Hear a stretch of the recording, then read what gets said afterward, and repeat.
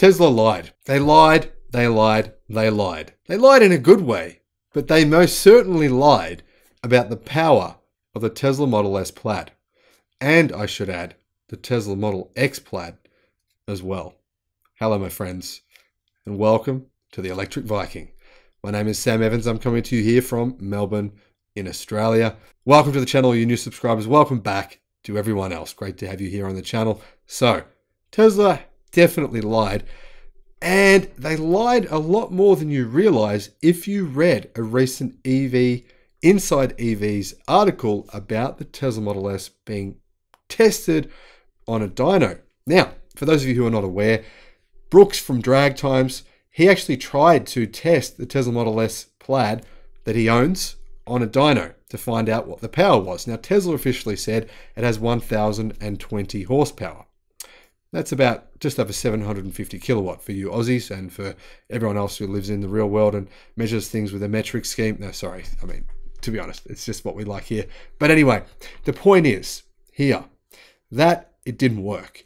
They tried to dyno test it, and for whatever reason, they, they just couldn't actually work out what the power was. The dynometer didn't couldn't handle the torque or something like that. I couldn't really work out what the issue was. But anyway, it's been tested again.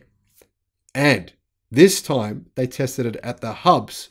Now the difference here is, well, first, okay, first I'll tell you what the results was, and then I'll tell you why these results are not what you think they are.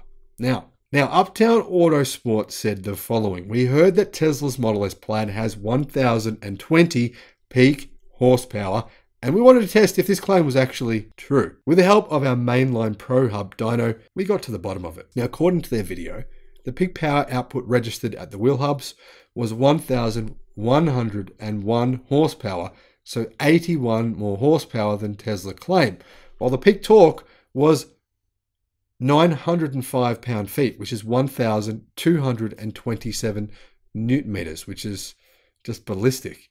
Now, a second image shows that at a 91% state of charge, the total power was 1,067 horsepower and 1,191 newton meters of torque. So the power goes down a little bit when the state of charge decreases, but not a lot, not enough to really be noticeable from the actual tests that I've seen of the car being driven on a drag strip. Now, one thing that everyone seems to have missed, I don't know why this is, but being a motorhead myself, reading all the motoring magazines since I was a little kid, this is how it works. If you're in the US and Australia, sorry, it's the same. In Europe, it's the same. Car manufacturers actually measure power where? Well, gross horsepower is a measurement of engine output, but it's taken at the flywheel. So when the power gets to the wheels, it's always significantly less. So you probably heard people say, my Nissan Skyline does this much power at the wheels. And you go, oh, well, that's a lot. That's okay. But that, someone else might say, oh, my car has stock 400 horsepower. That measurement will be at the actual flywheel. Now, by the time that 400 horsepower gets to the wheels, it's often reduced by 10 to 15%.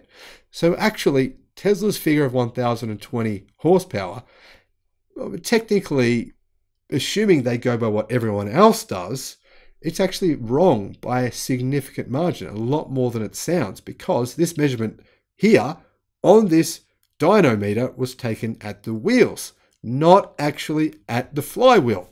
So, realistically, in the real world, rather than Tesla's vehicle having a 1020 horsepower output at the flywheel, it probably has closer to 1300 horsepower at the flywheel. Now, obviously, the Model S and X are equipped with three electric motors one in the front for the front axle, and two in the rear, which are for the independent rear wheels.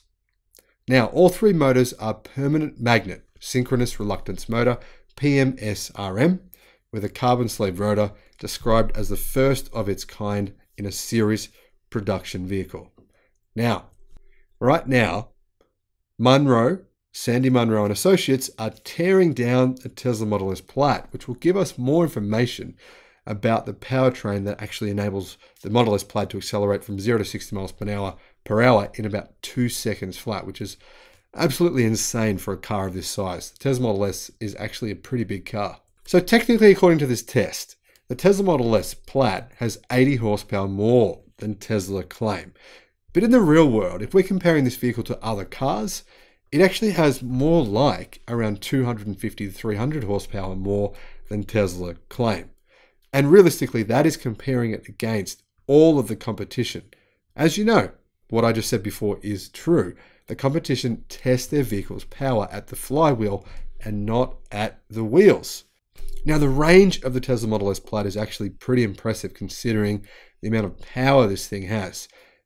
With 19 inch wheels, the Model S Plaid has a range of 396 miles or 637 kilometers. And its battery pack is actually smaller than it used to be, as roughly 95 kilowatt hour usable pack using Tesla's 1865 type cylindrical cells. So they're very small cells.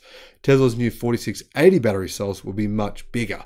And I believe it's very good chance that in 2023, Tesla will actually change the Model S Plaid and probably the Model X Plaid as well to be using 4680 battery cells, which should give this vehicle a much longer range with higher energy density batteries, potentially enable the Model S and the Model X Plaid to go even faster. Now, for those of you who don't know, the Model S Plaid did one, has a quarter mile record speed of about 9.2 seconds and a 155 mile per hour chop trap speed.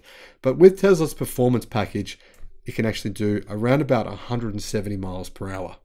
Now, in addition to that, Tesla currently hold the record for the fastest production electric car to go around the Nürburgring. It did it in 7 minutes and 35 seconds, but unofficially, another time did it in 7 minutes and 30 seconds. Now, Tesla have said that when equipped with the right tyre and wheel package, it will be capable eventually of doing 200 miles per hour, and that's 322 kilometers an hour in an electric sedan.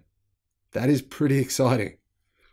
And especially considering the fact that this thing actually weighs in at 2,162 kilos or 4,766 pounds.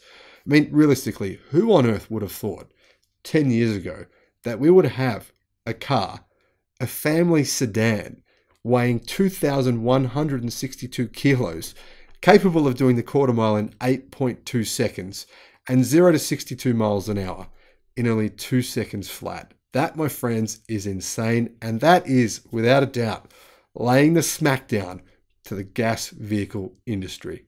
Now, I hope you enjoyed the video. I'll put a link in the description below to some other videos I've made about the Tesla Model S Plaid, in particular about the one of the videos you may have missed because I made this video early on of the Tesla Model S Plaid overtaking supercars at Laguna Seca. It was insane. Thanks for watching the channel. I'll see you again on the next one. Bye bye.